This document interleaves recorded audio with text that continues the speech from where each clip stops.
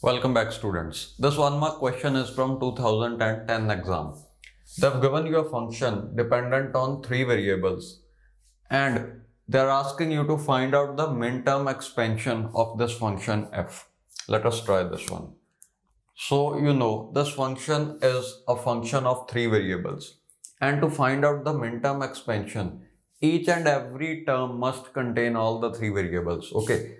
Now this term does not contain the variable r. Let's try to include r in this term. We already have pq. I'm multiplying it by r plus r bar, which is nothing but 1 only. r plus r bar is 1. So it is pq dot 1, which is pq. Similarly, here also, let's add p. p is missing in this term.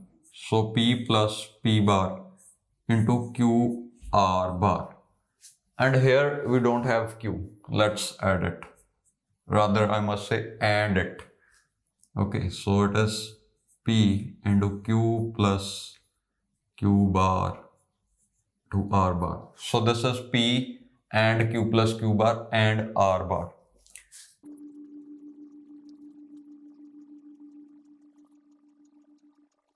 So upon opening these brackets, you will get this. Now, these are all the minterms. Okay. Let us identify the inputs. For this one, input will be 1, 1, 1, which is 7. Okay. For this one, you can see the input will be 1, 1, 0. This is 6. For this one, again the input is 1, 1, 0, it is 6. Okay. This is repetition. This one is 0, 1, 0. So this is 2. This one is 1, 1, 0. It is 6 again.